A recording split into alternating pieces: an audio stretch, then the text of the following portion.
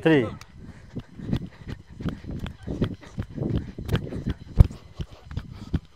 दोस्तों, सभी लोगों को आधे घंटे घंटे का एक्सरसाइज करना चाहिए, योगा करना चाहिए, व्यायाम करना चाहिए which is good for the health मौका मिले तो नेचुरल नेचर में भी जाना चाहिए which is very good for the health mostly होता क्या कि हम अपने शरीर के टाइम नहीं दे पाते हैं।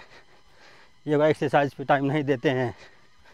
हमेशा आलस के चक्कर में ज़्यादा रात तक जगते रहते हैं, फिर ज़्यादा दिन तक सोते रहते हैं। एक्सरसाइज योगा नहीं करते हैं। उसके कारण बहुत सारी बीमारियों शरीर के अंदर आ जाती हैं। अगर आपको बीमारी से बचना है तो योगा एक्सरसाइज ज़रूर करना पड़ेगा दोस्तों।